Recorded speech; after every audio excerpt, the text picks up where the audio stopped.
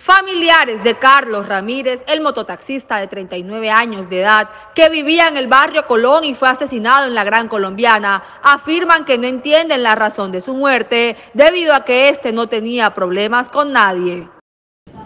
Pues mi hermano dedicaba a motorratón, él trabajaba motorratón y él no, él no se metía con nadie, toda la gente lo buscaba era él para transportarlo, para que los transportara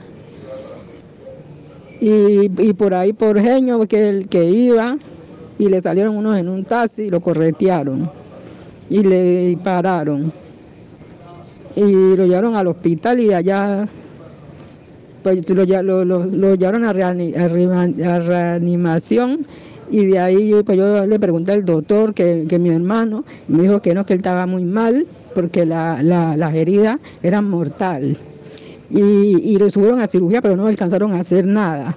No, no alcanzaron a meter y, murió. No, no tenía nada, no tenía ningún inconveniente con nadie, con nada, pues. Y él, él era un muchacho tranquilo, no se metía con nadie. Al parecer, Ramírez fue ultimado por sujetos que se movilizaban en un taxi, según versiones de algunos testigos. Hasta el momento las autoridades no han esclarecido los móviles de este hecho que enluta a otra familia del puerto.